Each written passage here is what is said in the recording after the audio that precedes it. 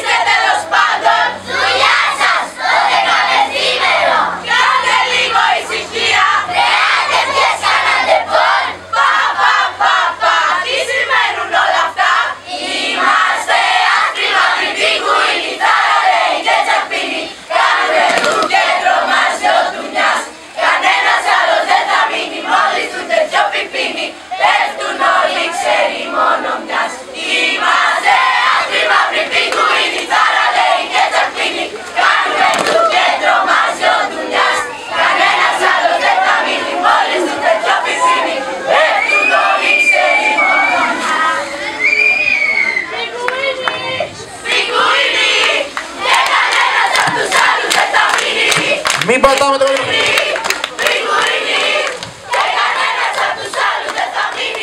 ini.